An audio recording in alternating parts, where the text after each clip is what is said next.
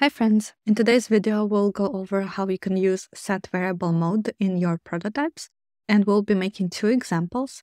In this first one, we'll have an option to toggle between different color modes, which will change the background and the text color. And then in the second example, we'll be doing a similar thing, but we'll be switching between light and dark mode. So we're going to get started in an empty Figma file. And the first thing that I'm going to do is preload a bunch of color variables into our file. So let's go to plugins, variable starter, and we don't need all colors. So I'll just do gray, like a blue color, pink, purple, and let's do lime. So now all these colors should appear in your local variables. And what you can do, I'll actually take them out of this colors wrapper. And I'm also going to rename the collection to colors. We can now close the plugin and close the variables. Now I'm going to begin by creating a frame and we'll just do a font frame. Then we'll create a text layer. Let's make it bigger and bolder and then center it. And lastly, we're going to create our color swatches. You can make them 40 by 40, rename it to swatch. And I'm going to make a few more copies. So here are four swatches.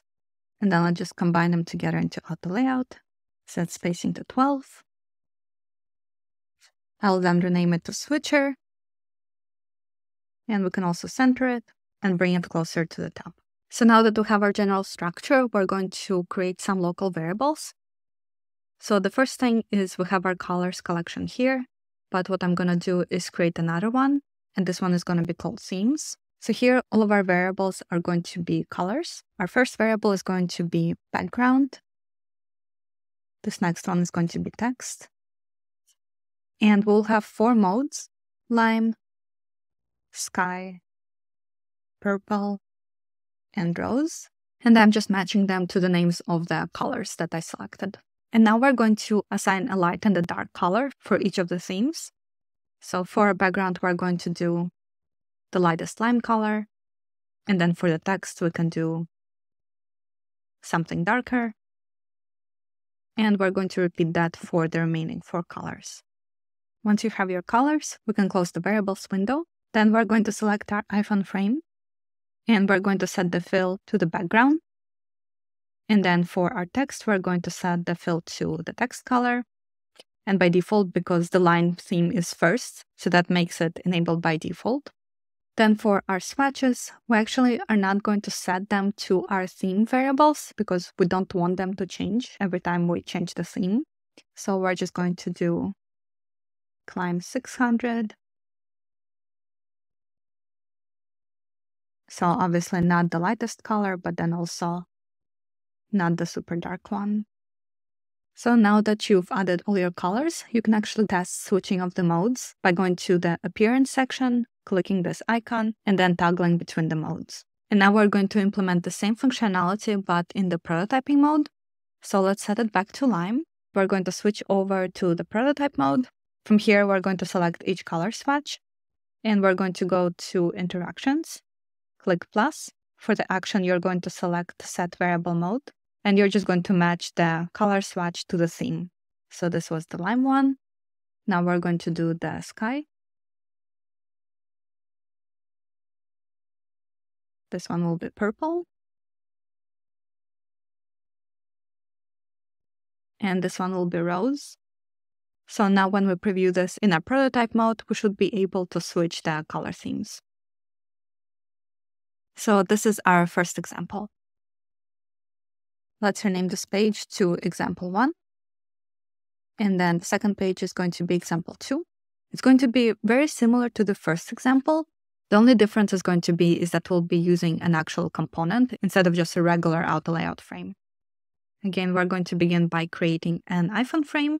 Then we'll create the text and we'll center it. Now let's create our toggle component. So first I'm going to make an ellipse, do it 40 by 40, make it white. And then I'll make a frame. This frame is going to be 48 for height, 96 for the width, and let's make it round. For the fill, I'm going to give it sky 500. And so this first variant is going to be the enabled mode. Let's rename it to toggle. and turn it into a component.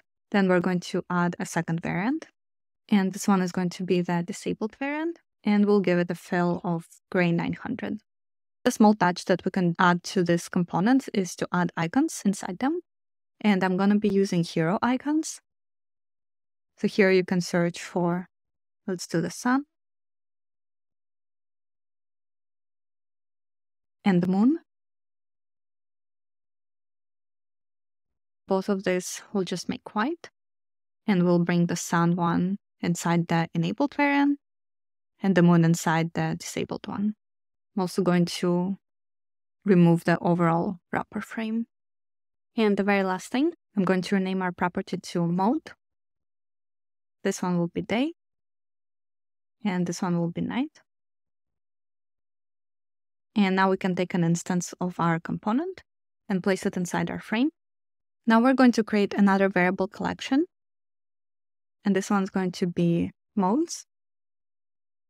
For this one, we're going to have two color variables.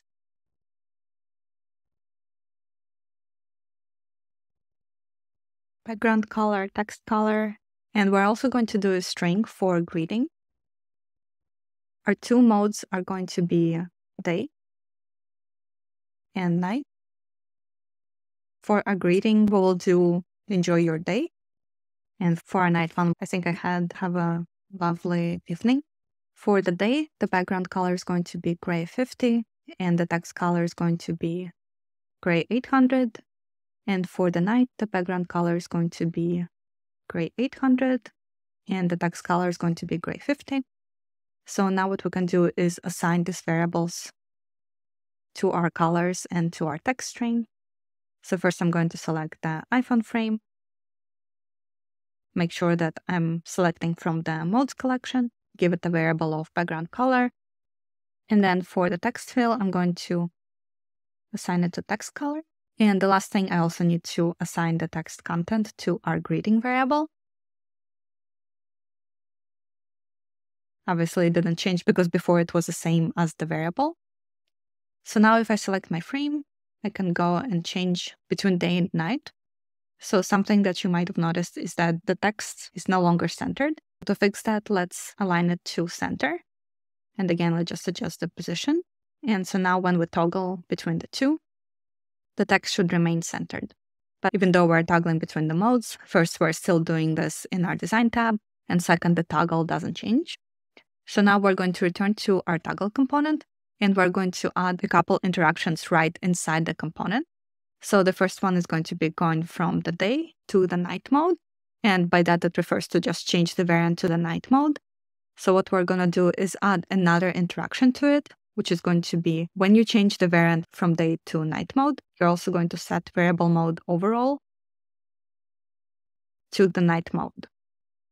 And then when we go from the night mode to day mode, Again, we already have changing to the day variant by default, but then also for our overall variable mode, we want to change it to the day mode.